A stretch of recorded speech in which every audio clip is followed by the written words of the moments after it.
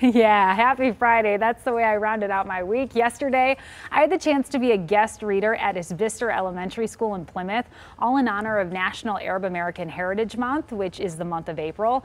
I read a book called The Arabic Quilt by Aya Khalil. It was such a treat to hang out with both the third grade and kindergarten students there who had so many great questions for me. After reading, just for fun, the kids had a chance to practice their Arabic dance moves. I taught them a little bit and uh, they also had the chance to write their names in the language. So thank you to Miss Cazella and Mrs. Dillon and the kids at Isbister for that warm welcome. And I